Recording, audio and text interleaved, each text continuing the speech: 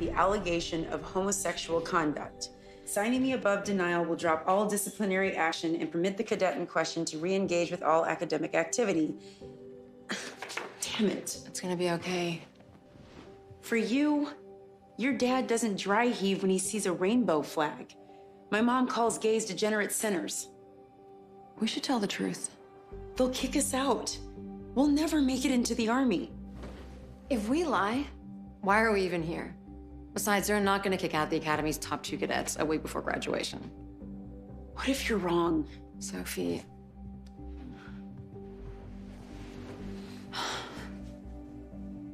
Look at everything we've done over the past four years.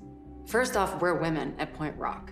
Sophie freaking Moore broke Shahnazadi's obstacle record by one second. You did make the sharpshooter competition your bitch. And we did it all together. And we'll get through this together. As long as we stay united. You're right.